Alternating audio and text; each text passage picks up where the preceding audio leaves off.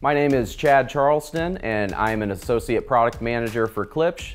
I'm going to take you through a top to bottom overview of the Jubilee and the incredible components that take Paul Klipsch's final loudspeaker design from a dream to reality.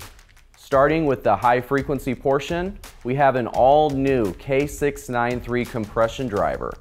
This is what allows us to essentially bring the Klipsch horn back to a two-way design, which was always Paul Klipsch's dream. This massive compression driver can handle up to 20 kHz while also digging as deep as 300 Hz.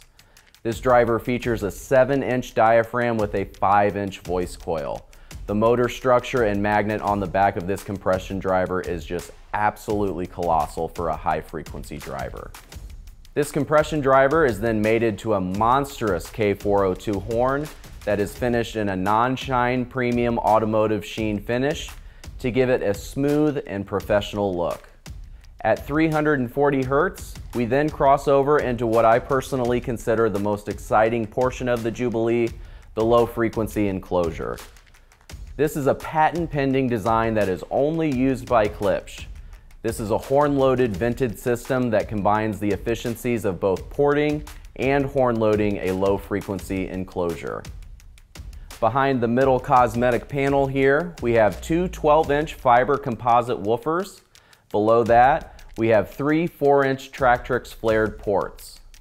When using a Tractrix flared port, you get more output before reaching the point of chuffing than when using a traditional straight-sided port.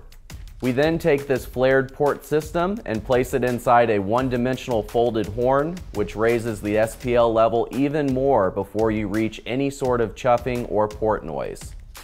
We also include an external active crossover with each pair of Jubilees.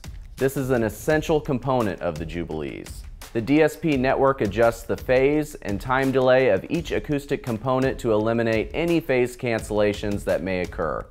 This active crossover also provides the necessary EQ and gain adjustment to blend the high frequency and low frequency portions of the speaker seamlessly. This crossover can be used in a standalone application as it will come wood matched to the Jubilee finish that you choose. Or this crossover can be used in a rack mount application as well and comes with very sleek contrasting black rack ears. Overall, this is not only a huge achievement for Klipsch, but also for loudspeaker design in general.